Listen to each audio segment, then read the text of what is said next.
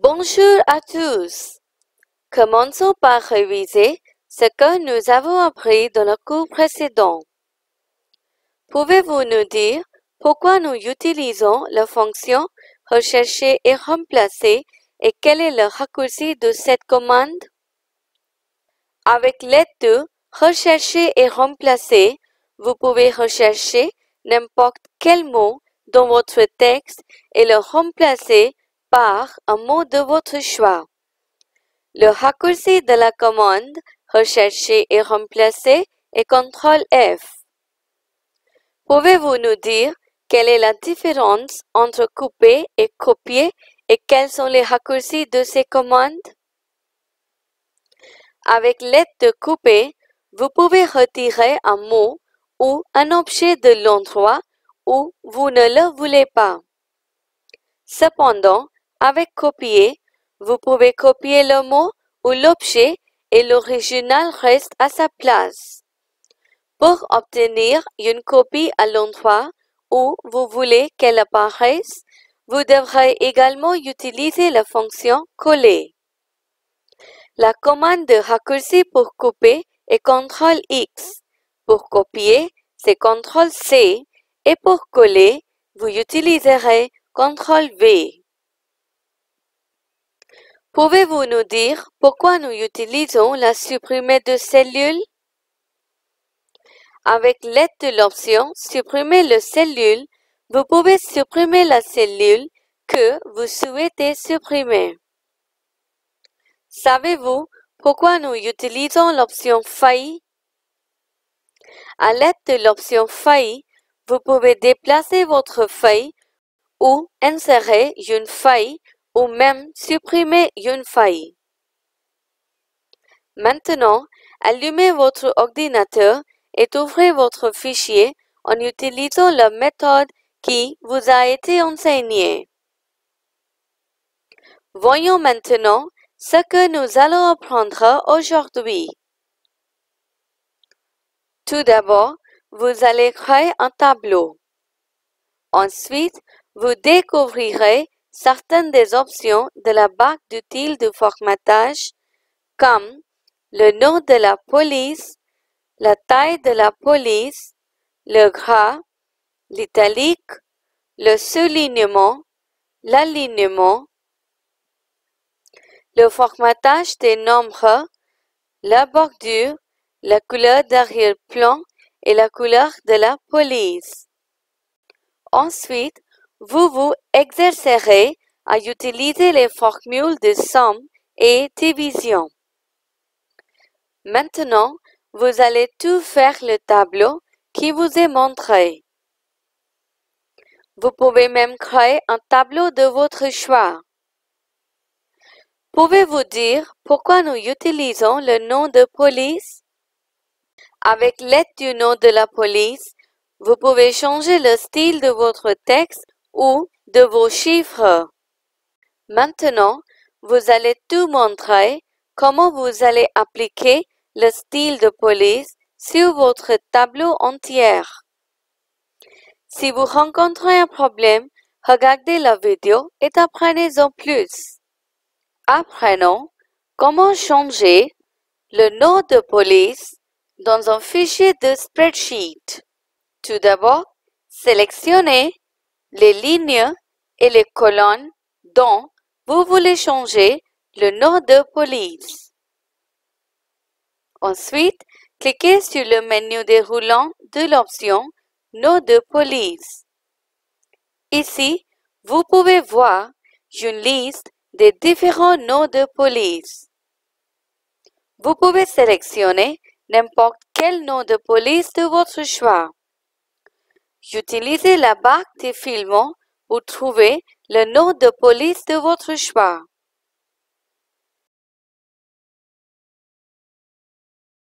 Voilà, le nom de police, des contenus des lignes et des colonnes sélectionnées est changé, comme vous pouvez voir en vidéo. Donc, c'est comme ça, nous pouvons changer le nom de police du texte dans une feuille de calque. Ensuite, vous allez tout apprendre la taille de la police. Pouvez-vous nous dire pourquoi nous utilisons la taille des caractères? Avec l'aide de la fonction taille de la police, vous pouvez augmenter ou diminuer la taille de la police de votre texte ou de votre nombre. Maintenant, allez-y et montrez comment vous allez augmenter la taille de votre police. Si vous avez un doute, regardez la vidéo et apprenez-en plus. Apprenons comment changer la taille de police des contenus dans une feuille de calque.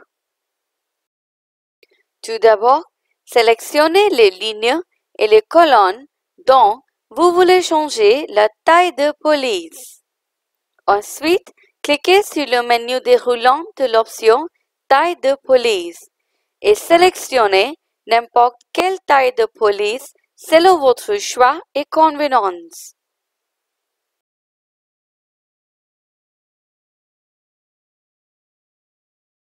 Voilà, la taille de police des lignes et des colonnes sélectionnées est changée, comme vous pouvez voir en vidéo.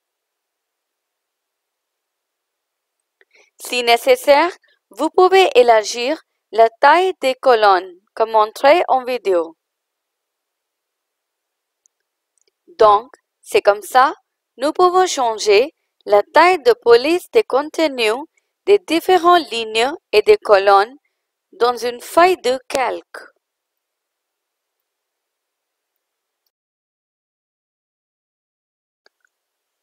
Apprenez maintenant à utiliser le gras, l'italique et le soulignement. Pouvez-vous dire pourquoi nous utilisons le gras? Avec l'aide du gras, vous pouvez mettre votre texte ou vos chiffres en gras. Allez-y et montrez comment vous allez rendre l'entête de votre tableau gras. En cas de problème, regardez la vidéo et apprenez. Voyons cette vidéo pour apprendre comment rendre le texte et les valeurs numériques en gras. Tout d'abord, sélectionnez les cellules dont vous voulez changer le style en gras, comme montré en vidéo. Puis, cliquez sur l'option G située sur la barre de formatage. Cela indique l'option gras. Vous pouvez aussi utiliser le raccourci CTRL B. Voilà. Le contenu des cellules sélectionnées seront en gras, comme vous pouvez voir en vidéo. Ensuite, vous pouvez élargir la taille des colonnes si nécessaire, comme en vidéo. Donc, c'est comme ça, nous pouvons rendre les différents contenus des lignes et des colonnes sélectionnées en gras dans une feuille de calque. Pouvez-vous dire pourquoi nous utilisons l'italique? En utilisant l'italique, vous pouvez incliner le texte ou les chiffres que vous avez sélectionnés. Maintenant, vous allez tout montrer comment vous allez afficher tous les noms en italique. Si vous avez un doute, regardez la vidéo et apprenez-en plus. Apprenons Comment rendre le contenu des lignes et des colonnes en italique dans une feuille de calque. Tout d'abord, sélectionnez les cellules ou les lignes ou les colonnes pour rendre le contenu concernant en italique. Puis, cliquez sur l'option italique situé sur la barre de formatage. Vous pouvez aussi utiliser le raccourci CTRL-I.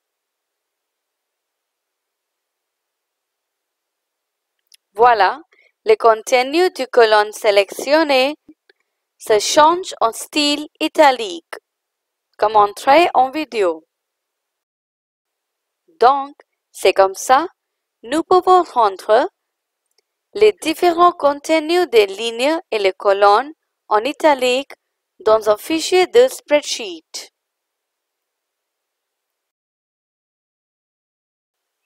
Pouvez-vous nous dire pourquoi nous utilisons le soulignement?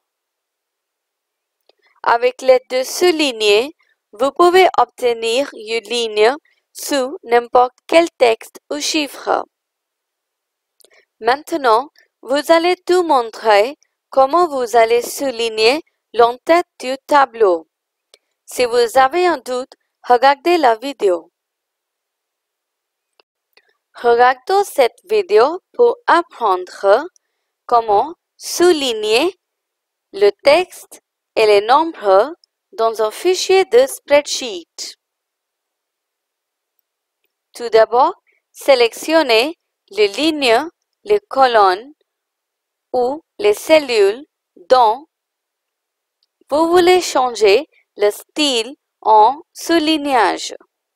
Puis, cliquez sur l'option S située sur la barre de formatage. Cela indique l'option soulignage. Vous pouvez aussi utiliser le raccourci CTRL-U. Voilà. Les contenus sélectionnés sont soulignés, comme vous pouvez voir en vidéo. Donc, c'est comme ça, nous pouvons souligner les différents contenus dans une feuille de calque. Maintenant, vous allez tout apprendre l'option Alignement. Savez-vous combien de types d'alignement il y a? L'alignement est de quatre types. L'alignement à gauche, l'alignement à droite, l'alignement au centre et l'alignement de justification. Vous pouvez également utiliser la méthode des raccourcis pour appliquer l'alignement. Le raccourci pour utiliser aligner à gauche est CTRL L. Pour utiliser alignement à droite, c'est CTRL R. Pour aligner au centre, c'est CTRL E et pour alignement justifié, vous utiliserez CTRL J. Savez-vous que lorsque vous tapez dans une feuille de calcul, quel alignement est défini par défaut pour le texte et quel alignement est défini pour les chiffres? Lorsque vous tapez dans une feuille de calcul, l'alignement par défaut du texte est l'alignement à gauche et celui des chiffres est l'alignement à droite. Maintenant, en utilisant l'option Alignement, vous montrez tout comment vous allez centrer l'entête du tableau. Maintenant, vous allez tout montrer comment vous allez appliquer alignement à droite sur la colonne des noms et appliquer alignement à gauche sur tous les chiffres.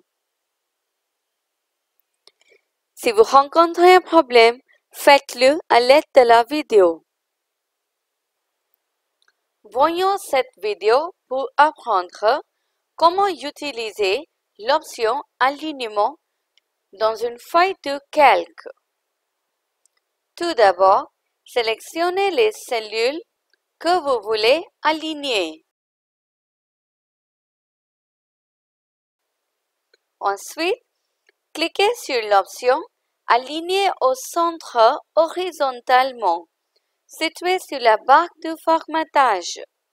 Vous pouvez aussi utiliser le raccourci CTRL-E. Ensuite, sélectionnez les autres cellules.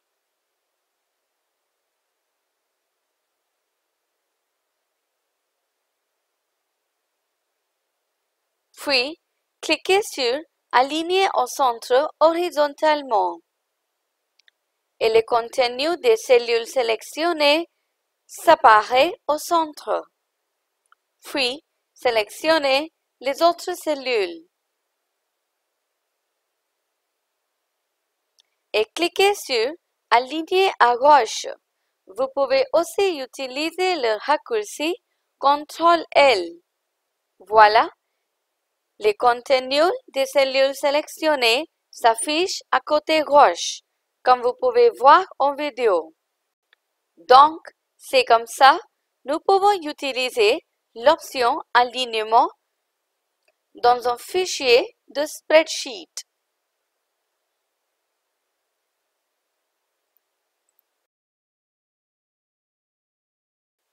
Apprenons maintenant le formatage des nombres.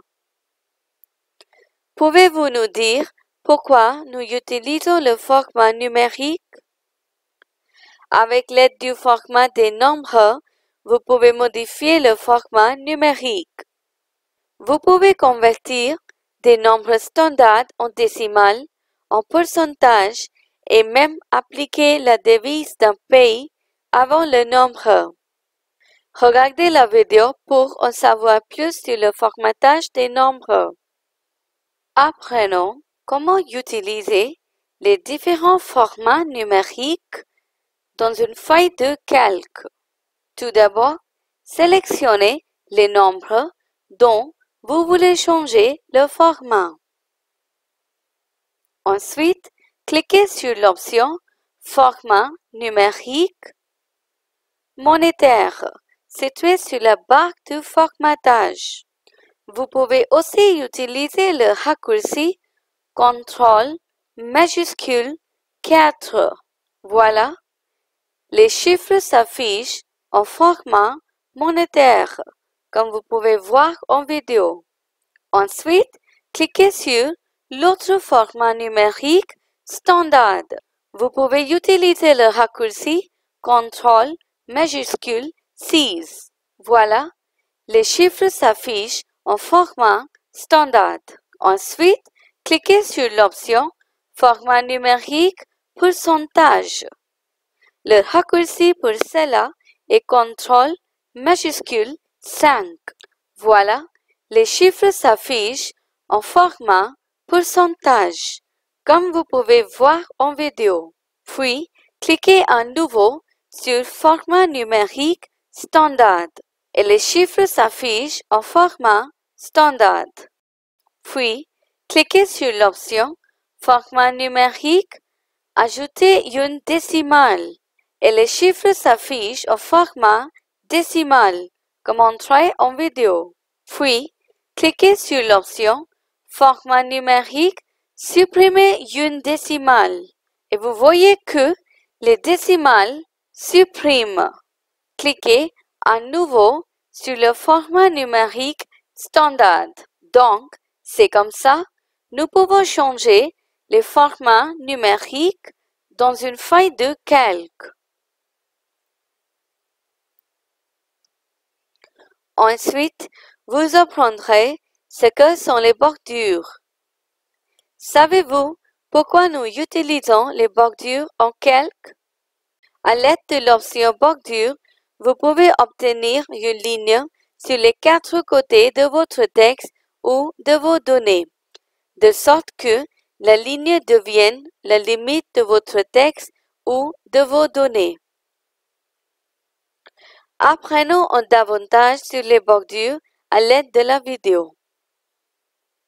Voyons cette vidéo pour apprendre comment insérer les bordures dans un fichier de spreadsheet. Tout d'abord, sélectionnez, tout d'abord, sélectionnez le tableau entier, comme montré en vidéo.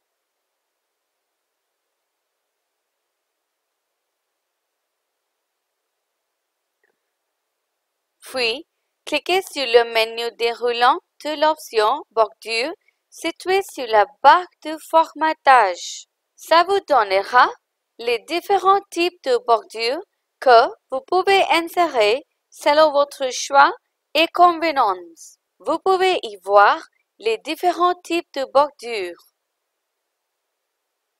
Voilà, la bordure est insérée dans la table comme vous pouvez voir en vidéo.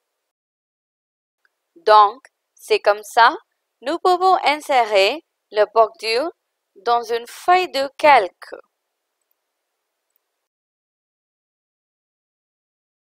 Voyons maintenant l'option couleur d'arrière-plan. Pouvez-vous nous dire ce qui se passe avec la couleur d'arrière-plan? En utilisant l'option couleur d'arrière-plan, vous pouvez appliquer une couleur à l'arrière-plan de votre texte ou de vos chiffres. Allez-y tout et montrez comment vous allez changer la couleur de l'arrière-plan de l'entête de votre tableau. Si vous avez des doutes, regardez la vidéo et apprenez. Regardez cette vidéo pour apprendre comment changer la couleur d'arrière-plan des lignes et des colonnes sélectionnées.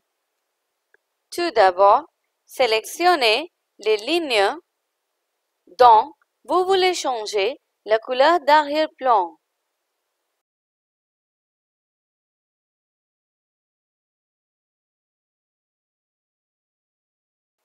Ensuite, cliquez sur le menu déroulant de l'option Couleur d'arrière-plan.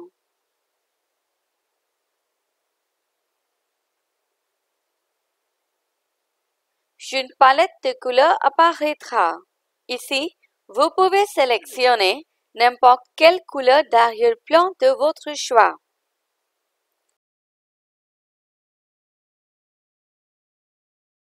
Voilà, la couleur d'arrière-plan de ligne sélectionnée est changée, comme vous pouvez voir en vidéo. Donc, c'est comme ça, nous pouvons changer la couleur d'arrière-plan des cellules, des lignes et des colonnes sélectionnées dans une feuille de calque. Maintenant, vous allez apprendre la couleur de la police. Pouvez-vous nous dire pourquoi nous utilisons la couleur de la police? Avec la couleur de la police, vous pouvez changer la couleur de la police. Montrez comment vous allez changer la couleur de la police pour la colonne des noms. Si vous avez des doutes, regardez la vidéo et apprenez-en plus. Apprenons comment changer la couleur de police dans une feuille de calque. Tout d'abord, sélectionnez la colonne ou les cellules dont vous voulez changer la couleur de police. Puis, Cliquez sur le menu déroulant de l'option Couleur de police. Une palette de couleurs apparaîtra. Ici, vous pouvez sélectionner n'importe quelle couleur de votre choix.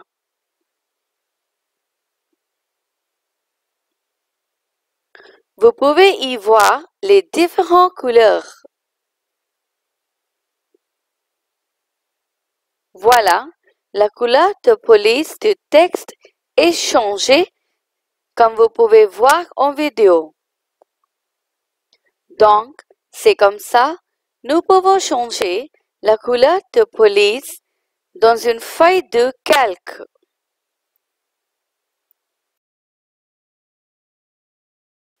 Maintenant, allez-y et révisez les formules de somme et division. Encore une fois, si vous rencontrez un problème, regardez la vidéo. Regardons cette vidéo pour apprendre comment utiliser la formule produit et la formule somme dans une feuille de calque. Tout d'abord, tapez total comme le titre de la colonne D.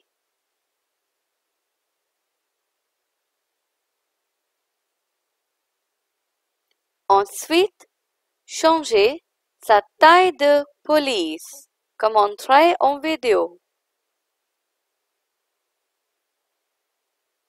Puis, insérez le signe égal du clavier dans la première cellule de colonne totale. Puis, tapez Produit. Ensuite, insérez la parenthèse C. Ensuite, sélectionnez les valeurs que vous voulez multiplier. Puis, fermez la parenthèse et appuyez sur la touche Entrée.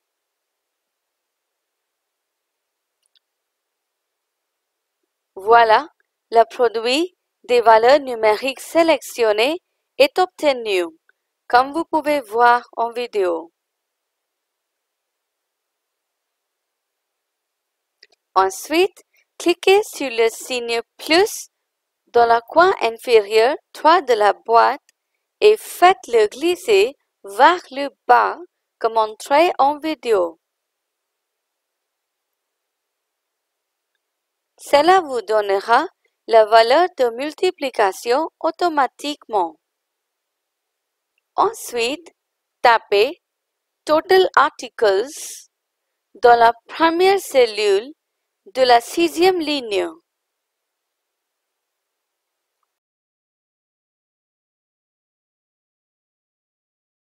Ensuite, insérez le signe égal dans la deuxième cellule de la sixième ligne et tapez Somme. Puis, insérez la parenthèse C. Ensuite, sélectionnez les valeurs numériques comme montré en vidéo pour faire le total des nombres. Ensuite, fermez le parenthèse C et appuyez sur la touche Entrée. Ça vous donnera la valeur en total des nombres sélectionnés. Ensuite, tapez division dans la première cellule de colonne E.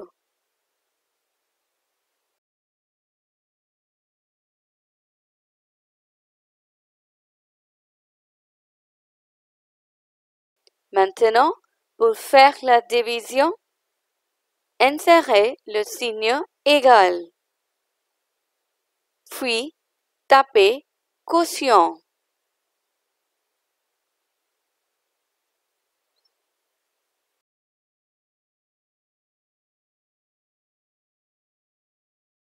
Ensuite, insérez la parenthèse C.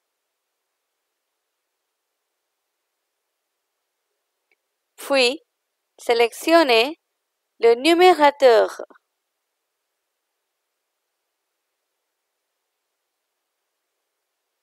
Ensuite, sélectionnez le dénominateur.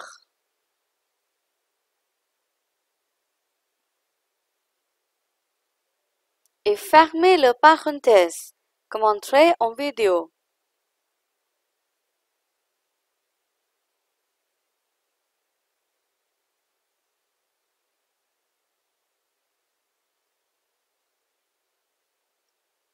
Puis, appuyez sur la touche Entrée. Voilà, le quotient est obtenu, comme vous pouvez voir en vidéo. Puis, cliquez sur le petit signe plus dans le coin inférieur droit de la boîte et faites-le glisser vers le bas pour obtenir le quotient des autres valeurs numériques automatiquement. Donc, c'est comme ça, nous pouvons utiliser le formule produit, somme et division dans une feuille de calque. Nous allons terminer le cours d'aujourd'hui ici. Allez-y, fermez votre fichier et éteignez correctement votre ordinateur. Dans le cours d'aujourd'hui, vous avez appris à connaître certaines des options de la barre d'outils de formatage, comme le nom de la police, la taille de la police, le gras, l'italique, le soulignement, l'alignement, le bordure et la couleur de la police. Vers le fin, vous avez également révisé les formules de somme et division. Alors, bonne journée et à bientôt.